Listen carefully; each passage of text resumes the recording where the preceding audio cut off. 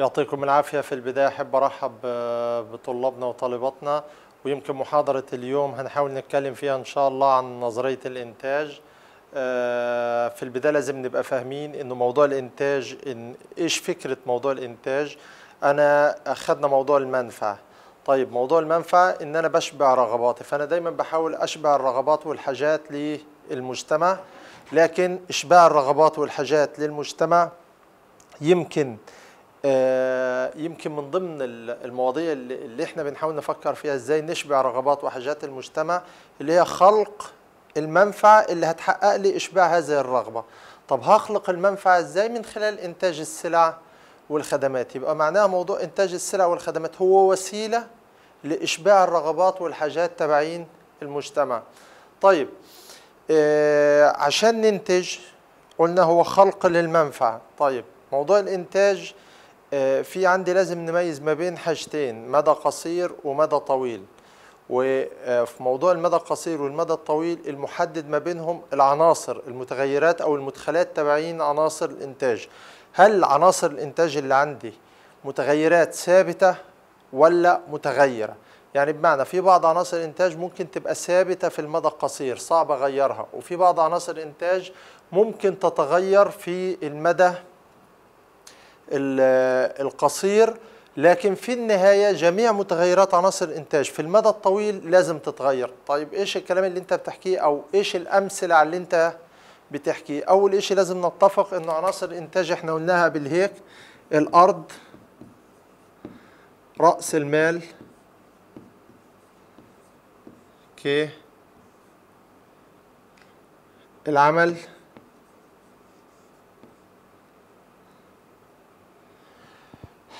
okay.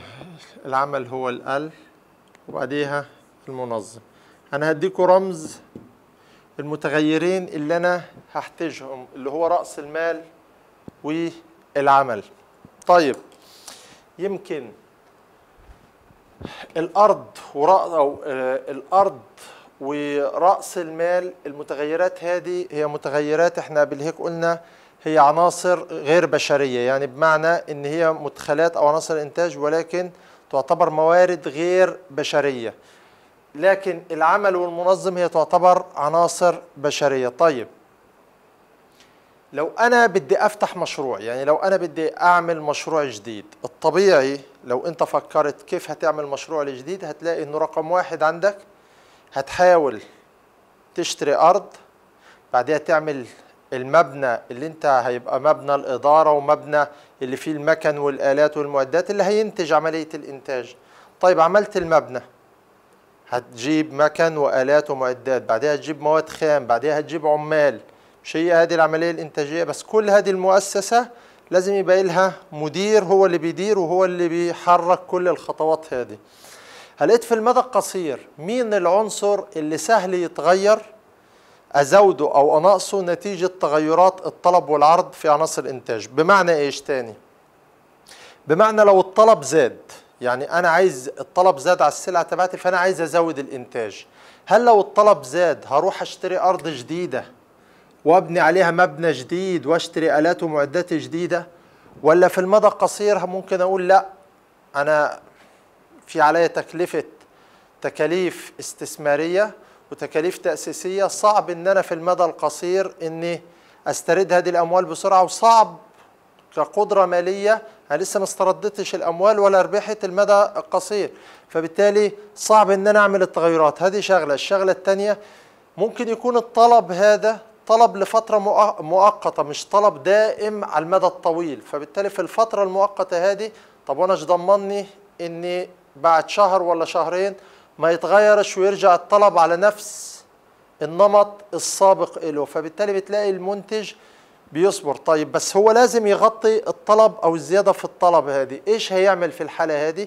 لازم يزود الإنتاج. مين العنصر اللي سهل إنه يزيد الإنتاج فيه أو يزود مدخلاته في المدى القصير عشان يزود الإنتاج؟ اللي هو عنصر العمل. إنه يزود عدد العمال أو يقلل عدد العمال. فبالتالي الأرض رأس المال تعتبر عناصر ثابتة في المدى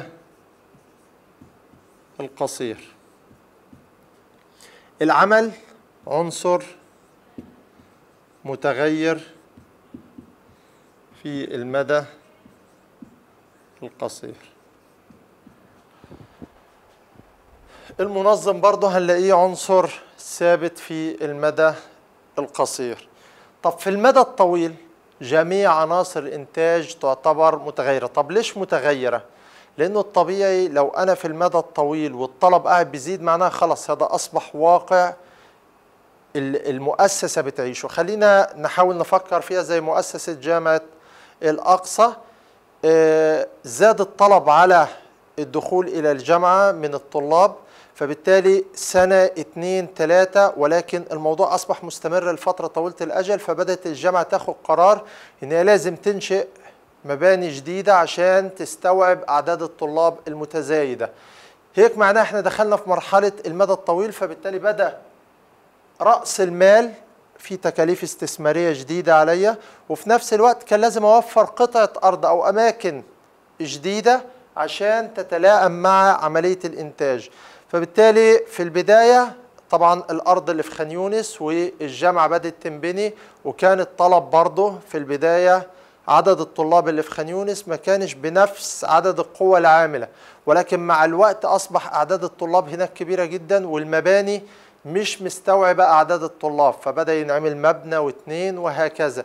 هنا في قطاع هنا في في غزة كان في الأول مبنى اثنين بعدها هي في مبنى اللي اتعمل مبنى الوحدة بعدها عمل المبنى القطري فبالتالي الجامعة بتحاول توسع عشان تستوعب أعداد الطلاب. طب ليش الجامعة بتعمل كل هذه الخطوات؟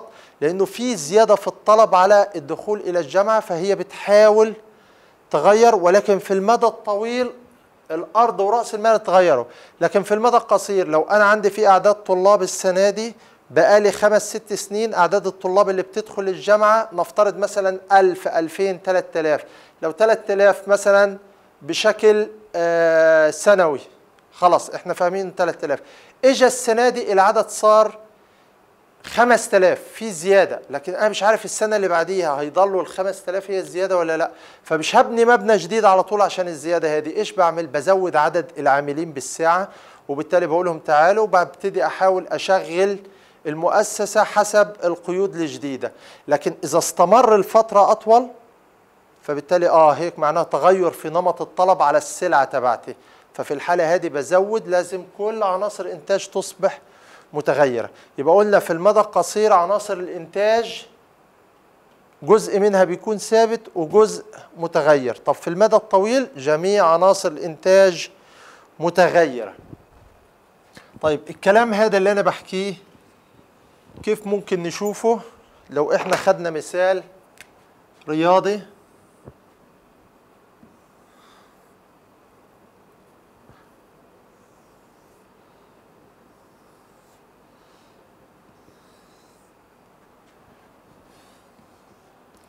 هي كي رأس المال هي ال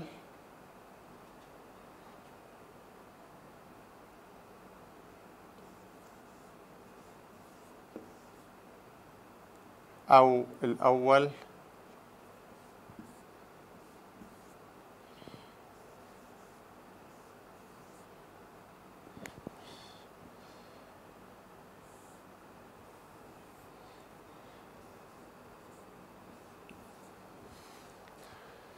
طيب إحنا قلنا لو أنا كتبت لو أنا كتبت هذه الكي رمز رأس المال.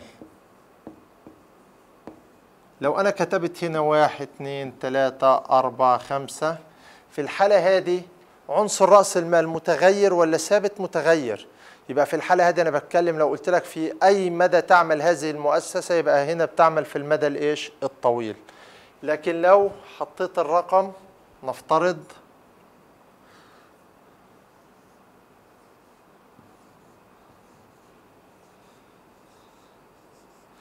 هنا عنصر رأس المال ثابت. ما دام عنصر رأس المال ثابت في أي مدى تعمل هذه المؤسسة؟ في المدى القصير. طيب. لو أنا جبت لكم المثال الرياضي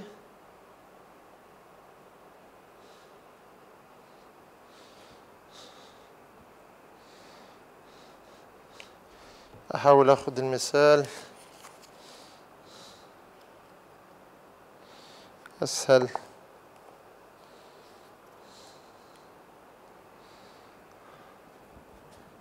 صفر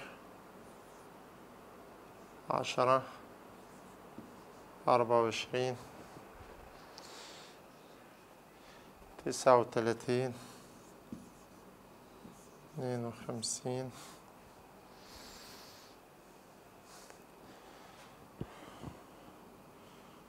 واحد وستين.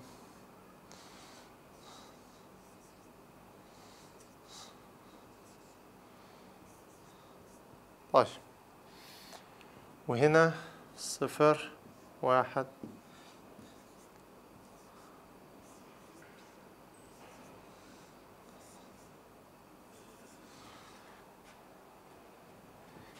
هنا العمل هنا الناتج الكلي. إيش الفكرة هنا؟ العمل عنصر العمل.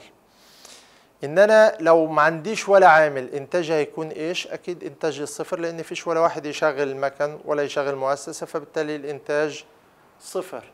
طيب لو عندي عامل واحد بينتج عشرة. تمام؟ طيب عاملين صاروا ينتجوا 24 العامل الجديد قديش ضاف للإنتاج؟ هذا إذا بصينا قديش حجم الإضافة في الإنتاج من العامل الجديد؟ هذا بنسميه الناتج الحدي. طيب لو بدي أعرف في المتوسط الاثنين العمال بينتجوا قديش هذا بنسميه الناتج المتوسط.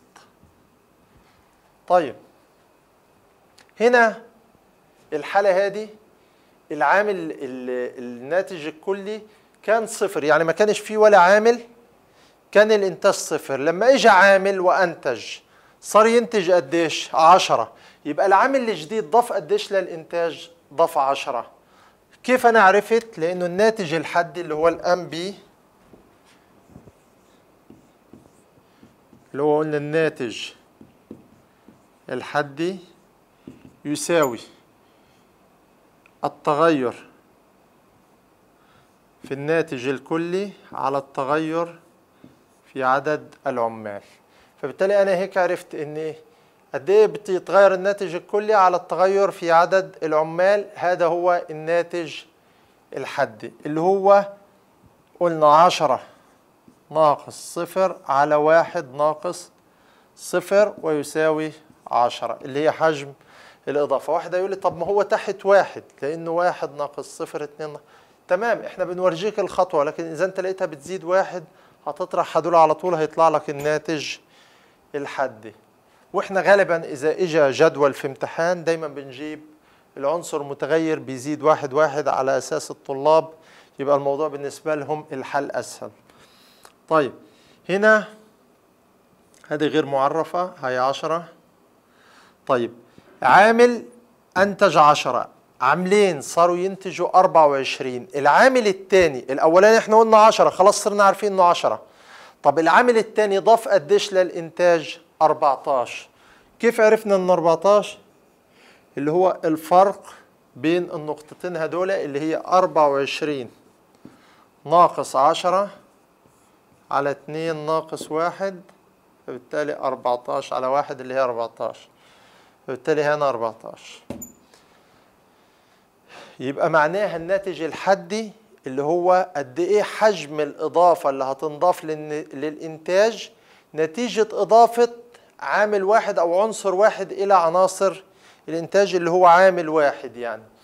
طيب أدخلنا ثلاث عمال صاروا ينتجوا 39 عامل. آه آسف 39 وحدة. ثلاث عمال صاروا ينتجوا 39 وحدة. قديش حجم الإضافة؟ 15 طيب أربع عمال 13 خمسة تسعة. بعديها خمسة بعديها صفر بعديها سالب خمسة. تسعة خمسة صفر. تمام. أنا هنا في أشياء هحاول إن إحنا ننتبه عليها اللي هي بنفس فكرة المنفعة والعلاقة ما بين المنفعة الحدية والمنفعة, والمنفعة الكلية.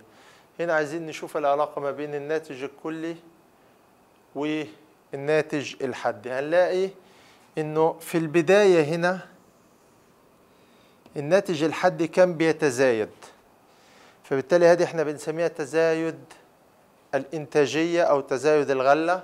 طب إيش المعنى تبعها؟ إنه كل ما بيزيد عدد العمال بتتزايد الإنتاجية بمعدل متزايد. ليش؟ عشان في حاجة اسمها ميزة التخصص أو الميزة النسبية. هذه هتاخدوها في التكاليف بس برضه من مبدأ إن إحنا نفهم. دايما في الإنتاج زي شركة هواوي زي شركة نوكيا زمان الشركات هذه أول ما دخلت على السوق كان عندها ميزة إن ما حدش عارف المتغيرات تبعت السوق تبعتها أو القطع تبعتها أو التكنولوجيا اللي هي بتستخدمها. فاخدت ميزة وشدت المستهلك.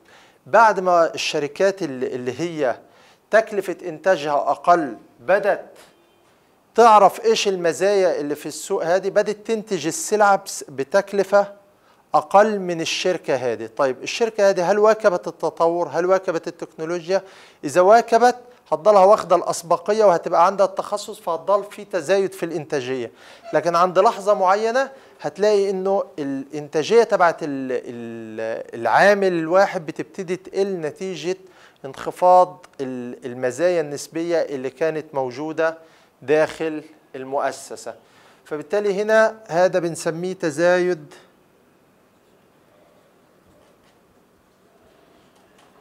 الغلة. طيب في بعد هيك عندي لاحظوا معايا من هنا من النقطة هذه بدأ يحصل في تناقص في الإنتاجية الحدية إنه 13 بعدها 9 بعدها 5 لغاية الصفر هذه هنا في تناقص ولكن التناقص تناقص وقيمة موجبة ولا سالبة؟ موجبة، معنى موجبة معناها إنه في تناقص ممكن نقولها الإنتاجية أو تناقص الغلة. أي واحدة منهم الاثنين تعتبر الإجابة صحيحة. طيب هنا لو قلنا تناقص غلة في الحالة هذه أنا بتكلم على إنه بدأ إضافة عنصر واحد إلى العملية الإنتاجية يؤدي إلى انخفاض في إيش في عدد الوحدات المنتجة يعني بدت إنتاجية العامل واحد تقل. طيب لو لاحظتوا معايا بالرسم البياني.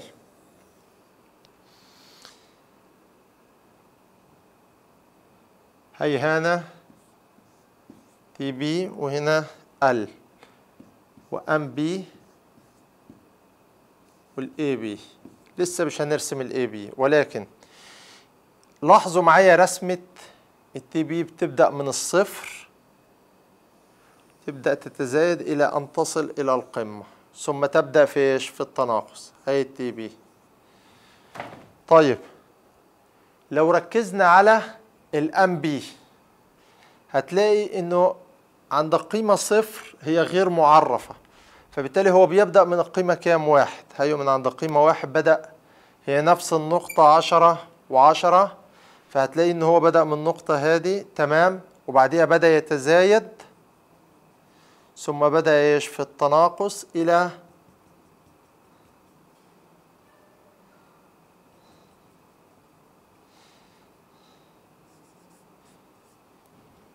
لاحظوا معايا إن هو تزايد ثم بدأ في إيش؟ في التناقص. طيب لما بدأ في التناقص بدينا إيش نقول؟ إنه في تزايد هنا في تزايد في الإنتاجية هنا في تناقص في الإنتاجية الحدية. طيب عند النقطة صفر اللي هي هنا هذه اللي هي كان عدد العمال قد إيش سبعة.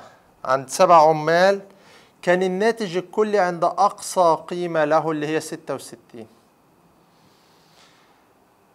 طيب وبعد هيك عند التمانية أي إضافة في الوحدات بدأ الناتج الكلي كمان يتناقص لأنه الناتج الحدي سالب فبالتالي بنسميها مرحلة غير اقتصادية. يبقى لما يكون الناتج الحدي سالب عندما يكون الناتج الحدي سالب الناتج الكلي يبدأ في التناقص وتسمى مرحلة غير اقتصادية طيب عشان أنا أقول تزايد في الإنتاجية خلينا نسميها الإنتاجية. أريح إلكم تزايد الإنتاجية أو تناقص الإنتاجية. برضه لازم نربطها بمين؟ بال AP عشان نقدر نحدد إحنا في حالة تزايد في الإنتاجية ولا تناقص في الإنتاجية. طيب ال AP هذا اللي هو الناتج المتوسط. اللي هو لما أجي أنا أقول لك أنت نفترض ثلاث عمال ثلاث عمال بينتجوا 180 وحدة. في المتوسط في المتوسط العامل الواحد بينتج قد إيه؟ فأنت تيجي تقول لي العامل الواحد بينتج 60 وحدة. لكن هل على أرض الواقع لو أنت دخلت وبصيت في المتغيرات هل فعلا كل عامل بينتج 60 لا ممكن واحد يكون بينتج 40 واحد 70 وهكذا. لغاية ما تلاقي إن مجموعهم كله 180 فبالتالي أنت الناتج المتوسط بتاخد الأفريج. زي لما باجي بقول متوسط درجات الطلاب كام؟ فأنت بتقول لي 75% فلما أجي أقول زي امتحان نصف الأول قلت لكم متوسط درجاتكم 17 من 20 أو 16 ونص من 20 لكن هل على أرض الواقع كلكم جبتوا 16 ونص من 20 لا. في اللي جاب 18 في اللي 19 في 17 وهكذا وفي اللي 14 لكن في المتوسط هي الدرجة 16 ونص. يبقى معناها المتوسط دايما اللي هو بيكون ال AP عندي يساوي ال TP مش تغير بقى هنا مباشر. TP على L يعني بقسم كل قيمة على العدد المقابل إلها 10 على واحد هنا 10 24 على 2 39 على 3 بعديها 52 على 4 بعديها 12 تقريبا point واحد 12 point اتنين.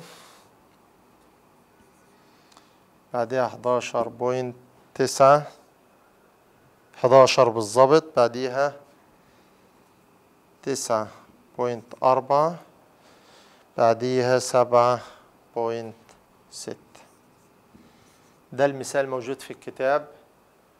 طبعا القيمة الأولى غير معرفة. لو أنت قسمت الصفر على الصفر هتطلع معاك error غير معرفة. طيب لاحظ معايا هنا. في البداية في المرحلة هذه. في المرحلة هذه. كان الناتج الحد أكبر ولا الناتج المتوسط أكبر؟ طبعا نقطة البداية هذه هي قاعدة. دايما هتلاقي عند عدد واحد هتلاقي التلاتة بنفس القيمة. تعالى من أول الرقم اللي بعد هيك هتلاقي إنه الإنتاجية الحدية أعلى من الناتج المتوسط. عشان كده بنسميها تزايد الإنتاجية لما يكون الأم بي أكبر من الأي بي يبقى ده ممكن يجي في الصح والغلط أو في الاختيار متعدد. عندما يكون الناتج الحدي أكبر من الناتج المتوسط فإن الإنتاج يكون في مرحلة تزايد الغلة أو تزايد الإنتاجية. طيب يبقى هي الشرط. طيب هنا في تناقص الإنتاجية هتلاقي إنه الناتج الحدي هنا طبعا هذه نقطة الانقلاب اللي هي النقطة اللي لو أنا رسمت زي هيك هتبقى هي النقطة هذه هاي ال AP طيب في النقطة هذه هي هنا عشان نكون أوضح في الكلام هي تناقص الإنتاجية. في تناقص الإنتاجية هتلاقي إيش؟ إنه ال AB أو خليني ال MB أقل من الاي بي يبقى عندما يكون الناتج الحدي أقل من الناتج المتوسط فإن الاقتصاد يدخل في مرحلة تناقص الإنتاجية طيب لو جبت لك في الصح والغلط عندما يكون الناتج الحدي سالب فإن الاقتصاد يكون في مرحلة تناقص الإنتاجية غلط فإن الاقتصاد يكون في مرحلة غير اقتصادية. تمام؟ طيب عندما يكون الناتج الحدي أقل من الناتج المتوسط فإن الاقتصاد يكون في مرحلة تزايد الإنتاجية. هيبقى غلط لأنه الناتج الحدي لما يكون أقل من الناتج المتوسط نكون في مرحلة تناقص الإنتاجية. أنا بحاول أعيد لكم الكلام عشان تكتبوه في المحاضرة عشان تستوعبوا إن هذه هي الشغلات اللي زي هذه هي اللي بتيجي في الصح والغلط أو الاختيار المتعدد. طيب. نيجي نطلع هنا. المرحلة الأولى عندي هنا اللي هي هذه. هنا هي رسمة مين؟ الخط هذا. خليني أرسمه بالأزرق عشان يبقى أوضح لكم.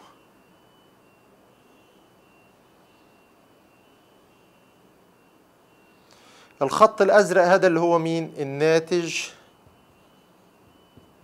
الحدي طب الخط الأسود الناتج المتوسط. طب لما يكون الناتج الحدي أعلى هنا هيو في الجزء هذا الناتج الحدي هي الخط بتاع الناتج الحدي قيمته أعلى من الناتج المتوسط. يبقى أنا هنا في مرحلة إيش؟ تزايد الإنتاجية. طيب الجزء هذا ما قبل الصفر. ما قبل هذه. بيكون الاقتصاد في إيش؟ تناقص الإنتاجية. طيب عند النقطة هذه يكون عندما تكتب زي هيك عندما يكون الناتج الحدي يساوي صفر عندما يكون الناتج الحدي مساوي للصفر فإن الناتج الكلي يكون عند أقصى قيمة له. نفس فكرة المنفعة. في المنفعة كنا إيش بنقول؟ عندما تكون المنفعة الحدية صفر فإن المنفعة الكلية تكون عند أقصى قيمة لها. نفس القاعدة هي هي. ولو أنت رجعت للرسمة تبعت المنفعة هتلاقيها نفس الرسمة بس إحنا هنا دخلنا عليها زيادة. الناتج المتوسط. طيب هنا تناقص الإنتاجية. طيب وهذه النقطة. طب كيف ممكن يجي كمان السؤال؟ ممكن يجي اختيار متعدد. يعني مثلا ممكن أجي في الاختيار المتعدد أقول لك عندما يكون الناتج المتوسط أكبر من الناتج الحدي فإن الاقتصاد وأروح سايب أربع اختيارات. مرحلة غير اقتصادية تزايد الإنتاجية تناقص الإنتاجية يكون الاقتصاد عند أعظم أو أو يكون الإنتاج عند أقصى قيمة له. فبالتالي حطيت لك الأربع اختيارات اللي هم تبعين الأربع حالات. وأنت تختار فأنت لازم تكون فاهم اني حالة فيهم. هلقيت للتاكيد تاني. إحنا قلنا تزايد الإنتاجية. تزايد الإنتاجية لما يكون إيش؟ ال MP أكبر من ال AP. طيب هنا تناقص الإنتاجية. لما يكون ال MP أقل من ال AP طيب هنا لما يكون الحالة هذه الخط هذا الوهمي هذا اللي أنا رسمته عندما يكون الناتج الحدي يساوي صفر يعني لما أجي أقول لك عندما تكون ال MP اللي هو الناتج الحدي يساوي صفر. هيو. لما سوى الصفر ال MP ساوت الصفر كان الناتج الكلي عند أقصى قيمة له اللي هو 66 هل في قيمة أكبر من ال 66 ما فيش في واحدة زيها ولكن هي هذه أقصى قيمة وهي الدلالة تبعتي إنه الناتج الحدي وهذا يقول لي طب ليش ما خدتش النقطة هذه وخدت السبعة؟ لأن أنا عند الستة ما بعرفش هل زيادة العمال ممكن تزود في الإنتاج الكلي ولا تنقص.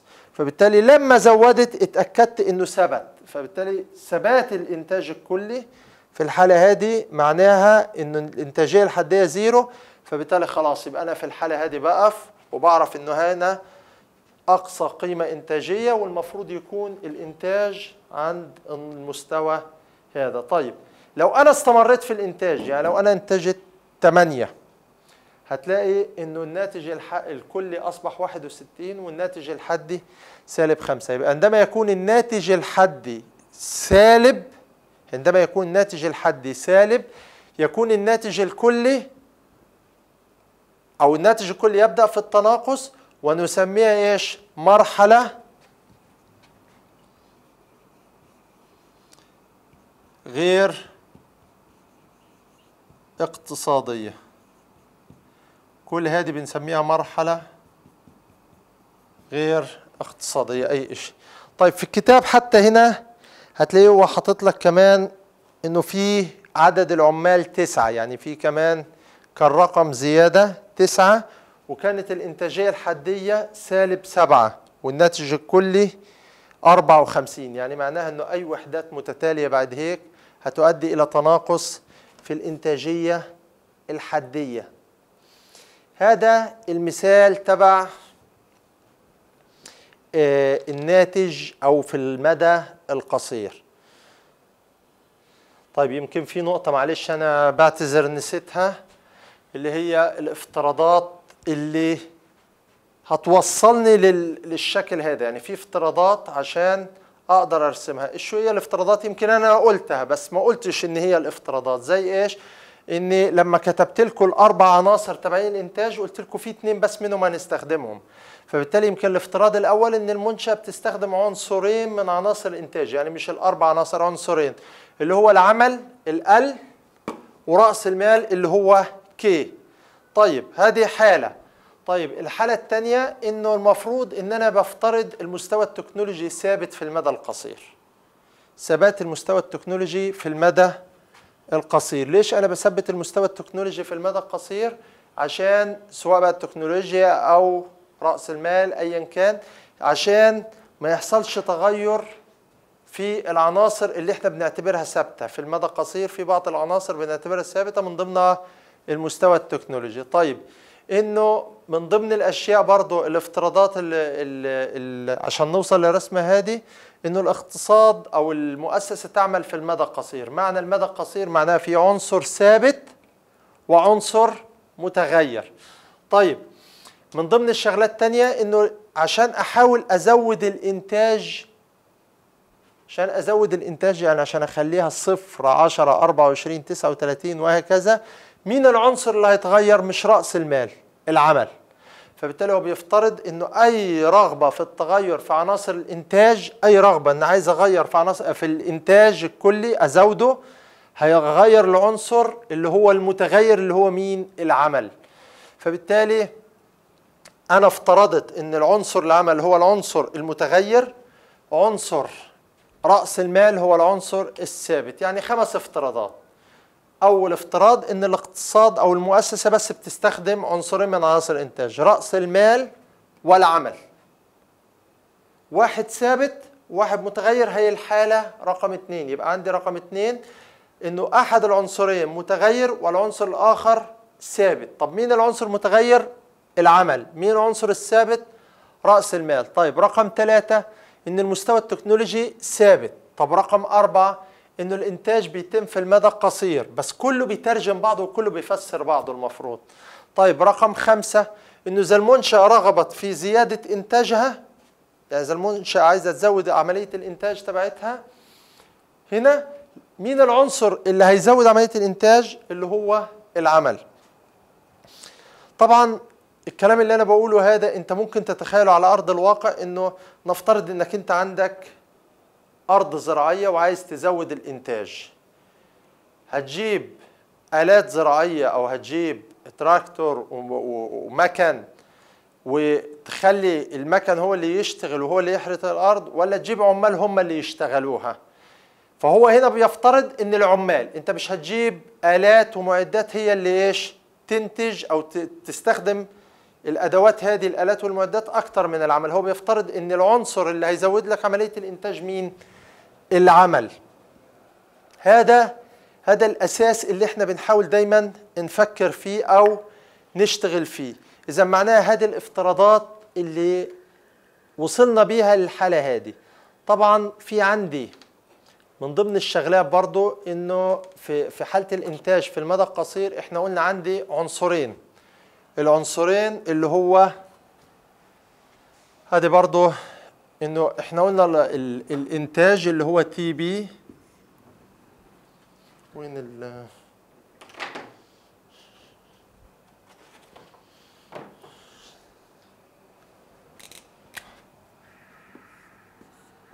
ان ال TP اللي هو الإنتاج دالة في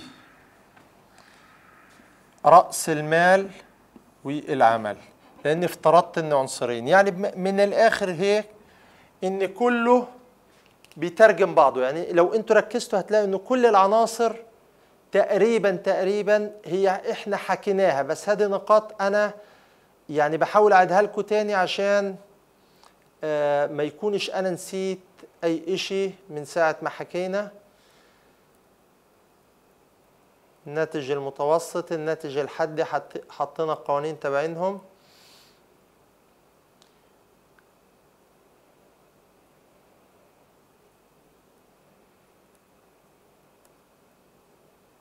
طيب في المرجع في المرجع اللي هو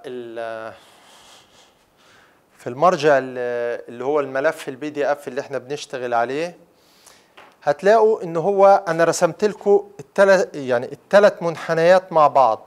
لا هو راسم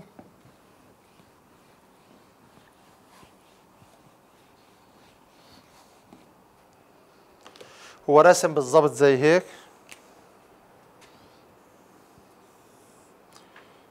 إنه هي ال وهي التي بي وبالشكل هذا. التي بي ورسم رسمة تحتيها حاول يربط ما بينهم إنه أخذ النقطة هذه زي هيك. واعتبرها هي نقطة إيش؟ الانطلاق اللي هي هيبدأ منها و إنه هيتزايد وبعديها يبدأ إيش؟ بالتناقص. واخد من النقطة هذه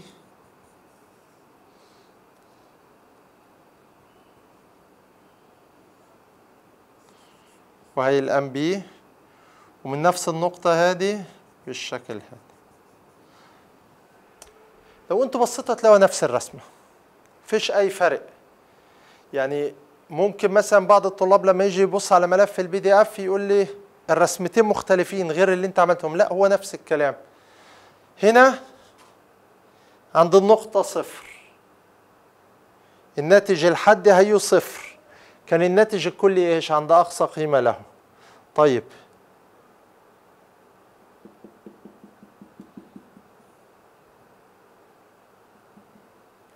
عند المستوى هنا النقطة هذه اللي تساوى فيها الناتج المتوسط الناتج المتوسط مع الناتج الحدي. هنا كانت نقطة الالتقاء أو التساوي. طيب اللي قبلها كان ال MP أكبر من ال AP فبنقول عليها إيه؟ تزايد الإنتاجية. طيب اللي بعد نقطة الانقلاب هذه ال MP أقل من ال AP طب إيش بنسميها؟ تناقص الإنتاجية. طيب وبعد النقطة هذه مرحلة غير اقتصادية. فهي هي نفس الرسمة. يمكن أنا بشوف الرسمة الأولى أسهل إلكم لو أنتوا فكرتوا فيها هيك هتلاقوها أفضل وأسهل إلكم تقريبا آه حتى هو هنا هتلاقي في في صفحة 112 في ملف ال PDF هو حاول يوضح لكم كيف المرحلة الأولى وإيش العلاقة بين الناتج المتوسط والناتج الحدي.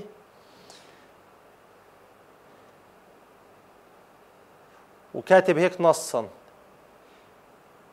يتزايد الناتج المحلي بدرجة أكبر وأسرع من تزايد الناتج المتوسط وفي هذه المرحلة أو هذه المرحلة تميل إلى تزايد الغلة طيب في المرحلة الثانية فهو كاتب برضو أنه الناتج المتوسط أصبح أسرع وأكبر من الناتج ال- الحدي. وبالتالي إحنا سمينا هذه المرحلة هي مرحلة تناقص الغلة. وهكذا نفس الكلام هو هو اللي إحنا كنا بنحكيه. طيب بعد هيك المحاضرة الثانية دالة الإنتاج في المدى الطويل. هذه إن شاء الله محاضرة تانية المحاضرة الجاية إن شاء الله يعطيكم ألف عافية وإن شاء الله رب تكون المحاضرة سهلة. أنا أخذت المثال اللي في الكتاب ال ال الأساسي اللي هو الكتاب اللي كان المفروض تشتريوه وحكيت لكم مش مشكلة خليكم بملف ال PDF فهتلاقوا المثال في PDF أرقام غير عشان تتعودوا. يعني هنا ادينا مثال حاولوا تشوفوا المثال اللي هنا وحاولوا تشوفوا المثال اللي في التمارين. وإن شاء الله بالتوفيق يعطيكم ألف عافية.